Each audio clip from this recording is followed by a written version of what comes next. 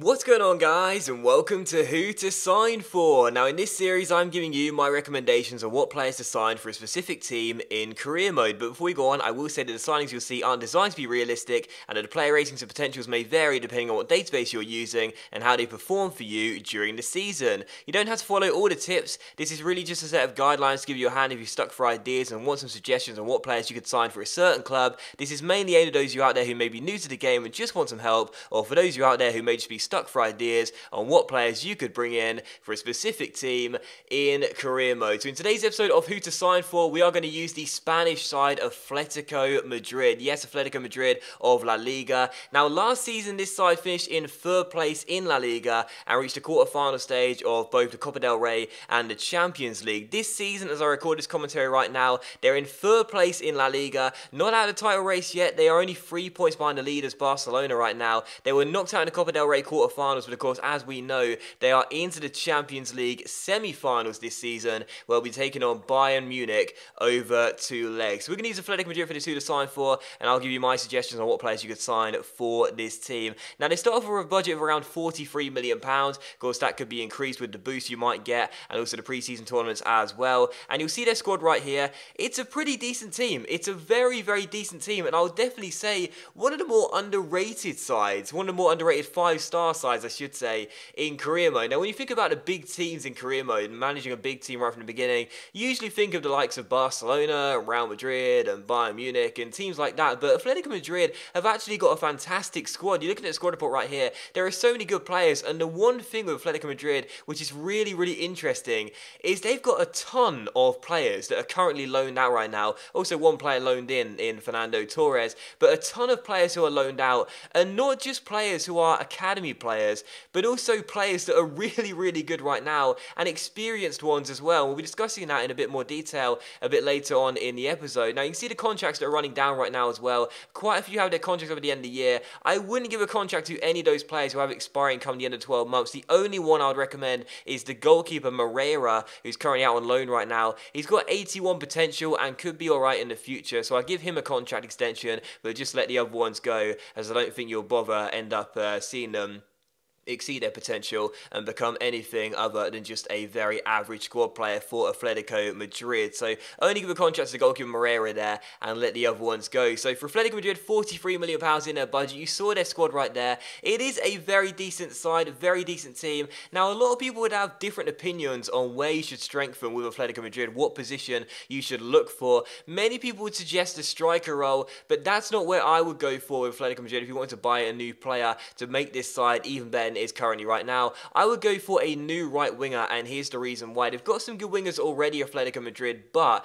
Griezmann right now is playing on the right wing for them in the game in the 4-3-3 when you initially start the game up, and although he's totally capable of playing in that position, I personally believe he's more effective when playing through the middle in the main striker role, which is his main position in his listed position. So for me, I would push Griezmann into the middle, play him in the striker role, drop Fernando Torres to the bench, and go in search of a new right winger. Now, my main target target for the right wing role would be this guy right here, Domenico Berardi of Sassuolo. He's 81 overall, 20 years old, and he has a growth rating of 6 and can grow, uh, sorry, growth rating of 5 even, and can grow to 86. That is his listed potential right now in the current database. You can get him for around 20 million pounds, and I have to say, I think this guy will be worth every single penny of that in the future when he does hit full potential at 86. He's got some really good stats to begin with, and one of the big advantages of picking Berardi as well as your new right winger is that he's a left-footed player and can cut in to shoot on his preferred left foot. Now, if you play Yannick Ferreira Carrasco on the left wing as well, he's a right-footed player, so he'll cut into his preferred right foot to shoot. And this year in FIFA, you have a lot more joy when cutting in with your wingers and playing them essentially as inside forwards and going for goal on their preferred feet, as opposed to running down the wing and crossing them into the centre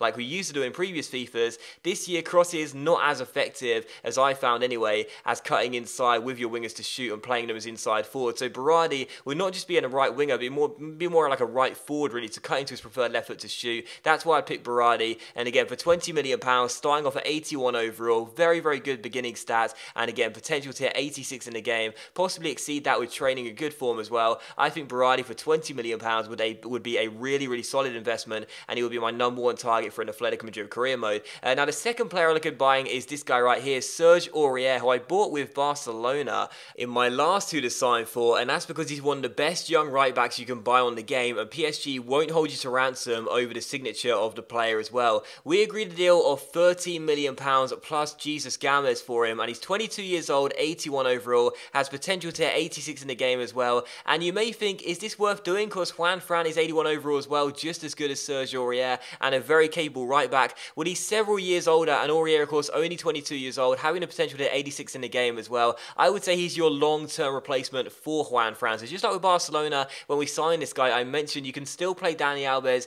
in that right back role if you'd prefer, but this guy's your long-term replacement for him. So Sergio Aurier will come in, and I think in my opinion for 13 million pounds plus Jesus Gamez, you wouldn't need him once you signed Aurier. You don't need three quality right backs in your team, and you got one out on loan as well right now too. So Sergio Aurier for 30 million pounds plus Gamez, in my opinion, is a really solid signing, and the second one I would make for Atletico Madrid. I'd also recommend selling a few players as well. Uh, one guy is this guy, Augusto Fernandez, 79 overall, 29 years old, a very solid central midfielder, but you've got a lot of quality CMs in this Atletico Madrid team already, and I also recommend buying a new one as well, which you'll see in just a moment's time. There's also quite a few players that are in their 50s for overall as well that aren't really too good. I recommend selling those as well, as not too many of these youngsters have really good potential. This is the third guy going for Atletico Madrid if you're looking to sign some more players. I don't think I'll be able to pronounce his name very well, but I think it's Ozyakup of Besiktas. He plays in the Turkish league, he's 80 overall, he is a Turkish midfielder, 22 years old, and I think this guy would be a really, really good uh, good signing. Now, I just said a minute ago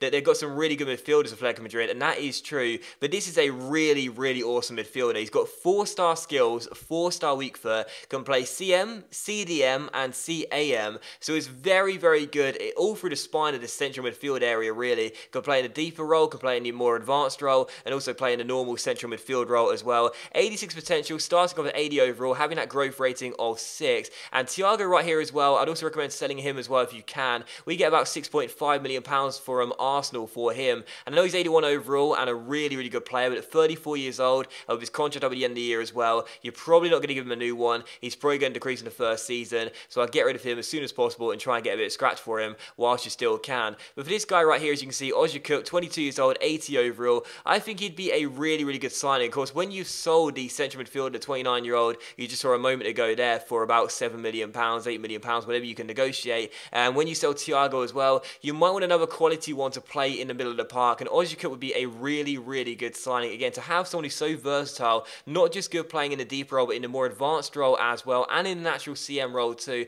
I think he'd be a really good signing. And for about £18 million, I think he'd be worth every single penny, especially when you consider the fact he can at 86 in the future, and with good training and good form as well, he could exceed that as well. Again, only 22 years old, plenty of room to grow. And once you sold Thiago, once you sold Fernandez, he wouldn't be a bad player to bring in, and I definitely recommend it. You probably would have to give him a wage increase, but for 18 million pounds, I think he'd be a really, really solid pickup, and he'd probably go in your first team straight away, if nothing else, on your bench, and give you solid minutes off the bench or in midweek games or in cup games as well. So Ozzy would be my third signing with Atletico Madrid. I think he'd be a really, really good choice. And again, the ability to play in the DM role and the cam role, as well as the CM role as well, is really underrated. Having a player that can do all three of those is really, really important because it means that in games where you need a holding midfielder to come off the bench and secure the back line, he can do that job. We need a midfielder to come on and be a playmaker, he can do that job. We need a box-to-box midfielder, he can do that job. He's fantastic. He's really, really versatile and definitely worth picking up, in my opinion. And for 18 million pounds,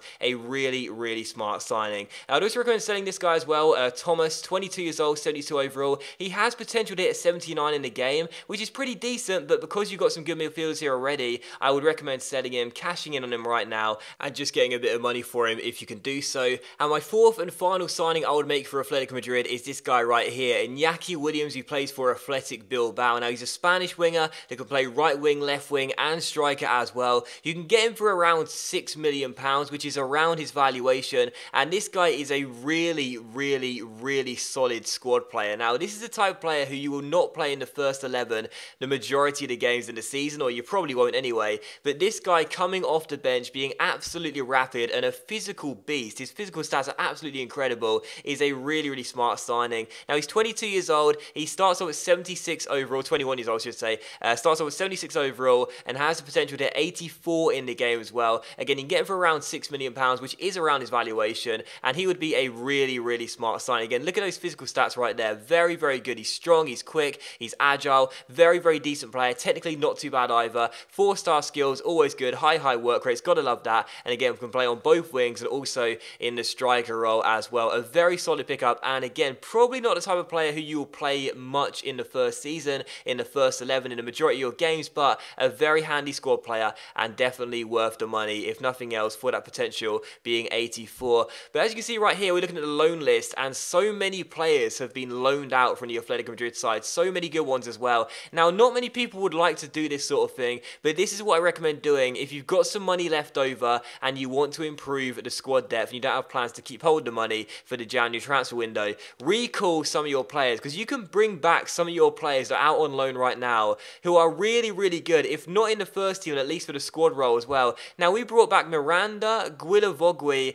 and also a right back, I think, as well. And I think we only spent about £3 million recalling these three players. And Miranda is an 86 overall centre back in the game at this time right now. I think he starts off at 85 overall. He's on loan at Inter, but you can recall a guy for just over a million pounds. Guilavogui's on loan at Wolfsburg. You can recall him as well. And I wouldn't. I want to recall Siqueira for the uh, left back role, but I couldn't afford the recall fee. But I could do for the right back, uh, which is Silvio, who can also play left back as well. I recalled these three players for squad depth and also for Miranda to play in the first team as well. Now, a lot of people wouldn't like to do this because they say it's unrealistic, and that's totally fine. But again, as I said the start of the episode, this isn't really about realism. It's just me trying to give you the best sort of uh, tips, if you will, to uh, to sign good players for Atletico Madrid. But the players that are on the loan out list, as I mentioned at the start of the episode, there are so many who aren't just kids and academy graduates, but really, really solid players. So Silvio and Guilavogui, they'll be squad players for you. This guy will go into reserves, Guilavogui will go on the bench. But for Miranda, 85 overall to begin with, or 86 at this stage in the game for me,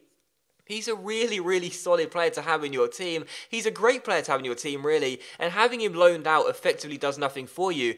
You know, loaning a player out is basically done, or should be done, by clubs in the game to give players a chance to grow and develop their stats better, uh, again, in, in career mode in the game. But when you loan out players who are experienced, like uh, like Chur- uh, there, who we recall, and Silvio, and uh, of course Miranda as well, when you've loaned them out in the game, that doesn't really do anything for you. They're just not at your club, and sure, you're not paying their wages, but because when you recall a player, it doesn't really get taken off the wage budget anyway, just the transfer fee you pay, or the recall fee, I should say, you pay, you may as well just bring them back. So a lot of people wouldn't like to do that, and that's totally fine. But again, this isn't about being realistic, this is about me trying to give you the best tips. And in my opinion, if you've got the money to do that, bring back those players and have them in your squad because they're very handy squad players. They improve your squad depth, and again with players like Miranda and Guilavogui, they'll go in your first team. They'll go on. They'll go on your bench or in the first eleven as well. In Miranda's case, it's the uh, the latter. For Guilavogui, it's the former. He'll go on the bench. Miranda in the first eleven,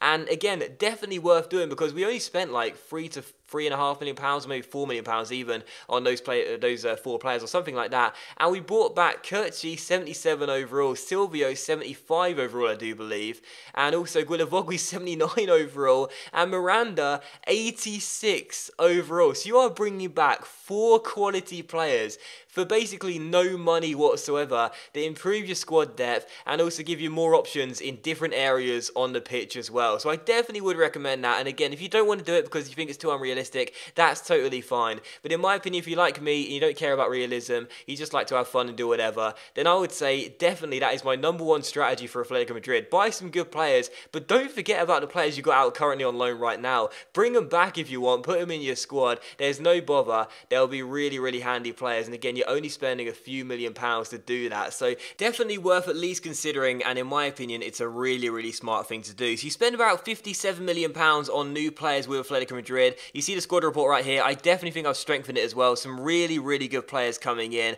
And again, Berardi, Aurier, and Ozyakup as well, all having 86 potential, and Iñaki Williams having 84 as well. All the four players coming in would have some really good growth and definitely be really fun to use in the first season onwards as well. So this is how I would have uh, set up the uh, Atletico Madrid side. As you can see, the 4-3-3, very, very good indeed. Not a single player in the first 11 is under the overall of 80. So as per usual, we simulate to the end of the season, see how Atletico Madrid would do. Of course, their aims were to qualify for the Champions League in the uh, Champions League in the league, uh, to finish the quarterfinals of the Copa del Rey, and also reach the semi-finals in the Champions League. Well, in the league, they finished in second place, six points behind the eventual winners Real Madrid, and three points in uh, in front of Barcelona, who finished in third place. I failed with the Copa del Rey objective though. That was to reach the quarterfinal stages, and they ended up getting knocked out in the round round of 16 stage. So that was a bit of a shame. It was Valencia that beat them and they, they uh, failed that objective. But in the Champions League, they actually went all the way and won it on penalties by beating Manchester United in a truly bizarre Champions League season. I mean, this this tournament tree just looks really, really weird to me. I don't know why exactly, but either way,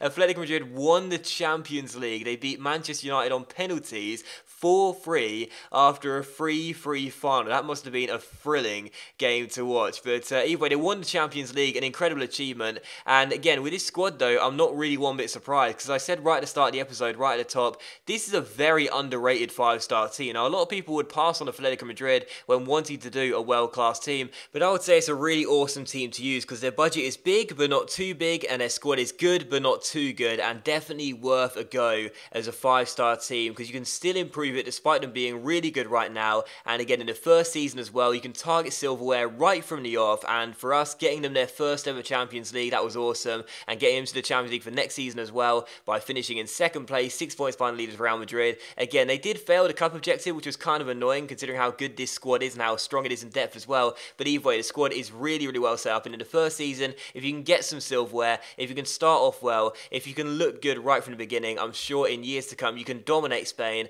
and possibly Europe as well. So those are the four signings I would recommend for an Atletico Madrid career mode, guys. Once again, I want to reiterate though that the signings I made weren't designed to be realistic, so please don't pick them apart if you didn't like them or thought they were just way too far-fetched. They're not supposed to be realistic, and again, with the loan thing as well, you don't have to do that if you don't want to, but I still would recommend it as a strategy, which could help you for the first season. But thank you for watching the episode regardless, guys. I really hope you have enjoyed it. Don't forget to let me know in the comment section down below who you would sign for an Atletico Madrid career mode, and also as well, tell me what team you want me to do next in this Who to Sign For series. I might go back to an English side or someone who I haven't done before in a league I've never done before anyway. Let me know in the comment section down below. Tell me what team you want me to do next in this series, and I'll see which one takes my fancy. But thank you for watching the episode regardless. Please do leave a like if you enjoyed it, and I'll see you for the next episode of Who to Sign For very soon.